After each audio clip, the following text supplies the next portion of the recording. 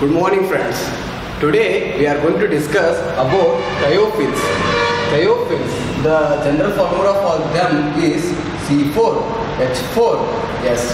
And the structure for thiophene is same as furan but with sulfur group.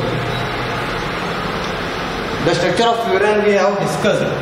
Their preparations, their chemical properties, everything we have discussed. This is furan, whereas this is thiophene.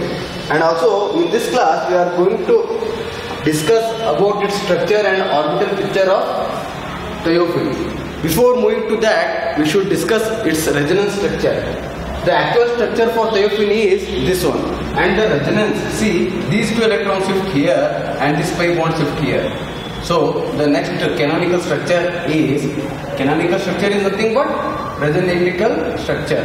So it gets positive charge as it has donated and it gets negative charge and here we have double bond. And these two electrons and these two electrons will not involve in the resonance. As we discuss further uh, the orbital structure of this, you, you are going to get why these how why these are not going to participate in resonance.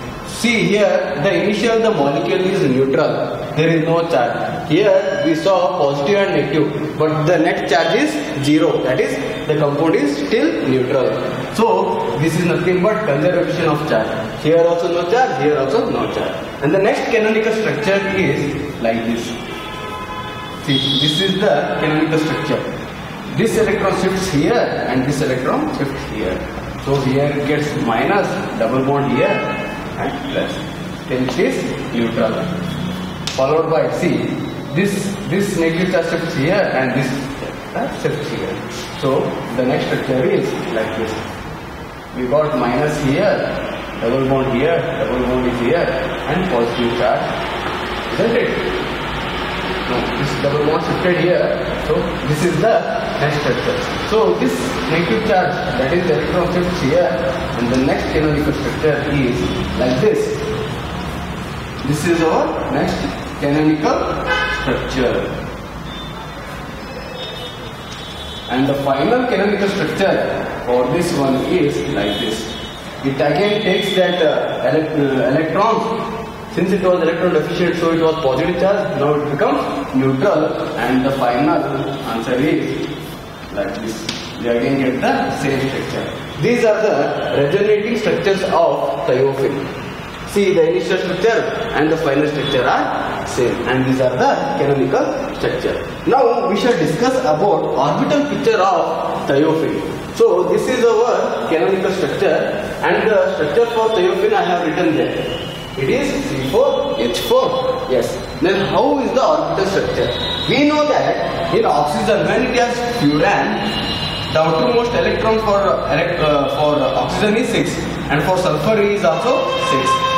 But here its atomic number is 8 whereas its atomic number is 16. So it is neon 3s2 3p 3s2 3p4 it is the outermost orbital the ground state electronic configuration of sulfur neon that is 1s2 2s2 2p6 all those electrons are filled and these are the outermost orbitals which participate in resonance and the inner orbitals will not participate in resonance or in, will not participate in bond formation.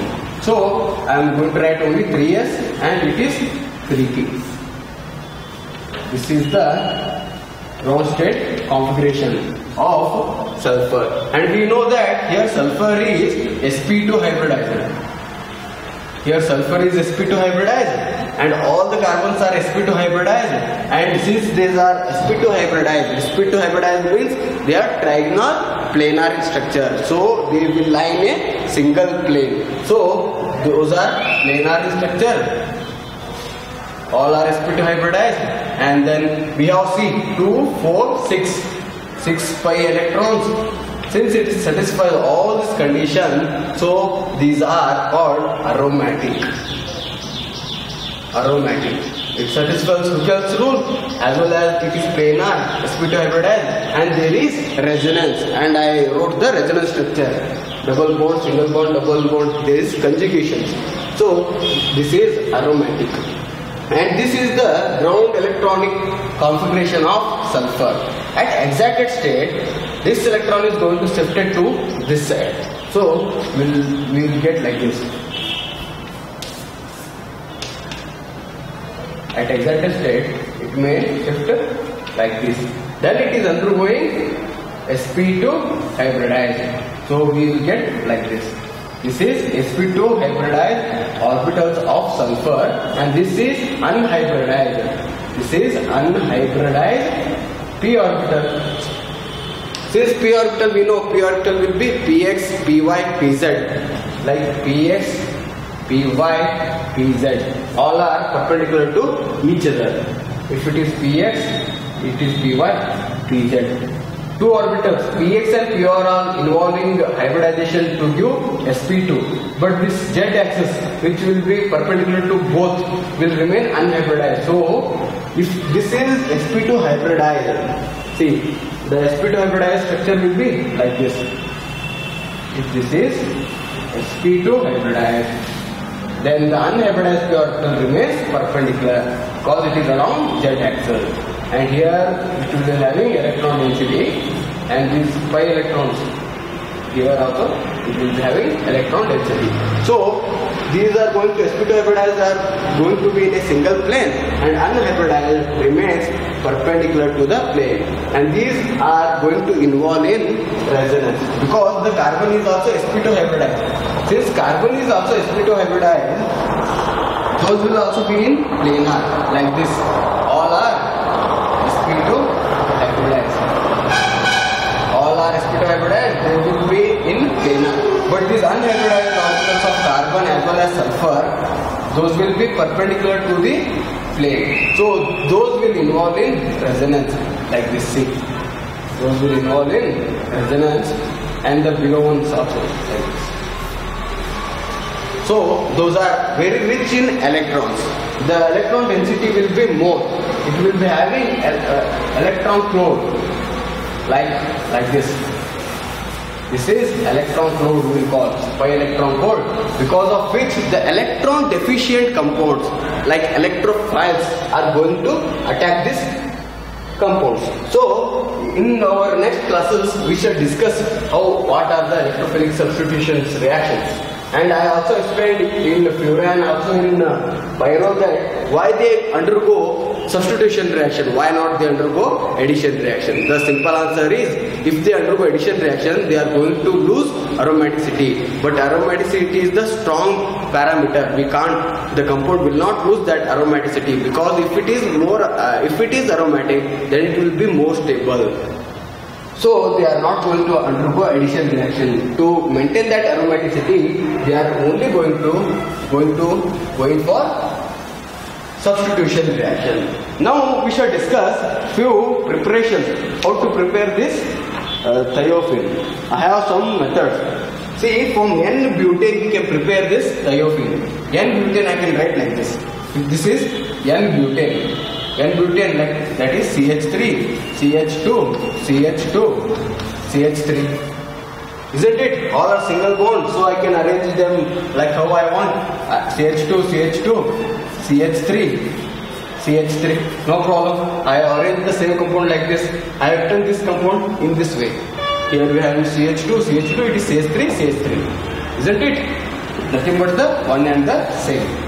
So this is N-butane when treated with 4 sulfur 4 molecules moles of sulfur at 923 923 Kelvin and when I heat this I am going to get thiophene Am going to get thiophene along with it there is 3 moles of H2S gas is released this is the one method of preparation of thiophene form this is N-butane from N-butane we can prepare this compound and also we can prepare this by acetylene.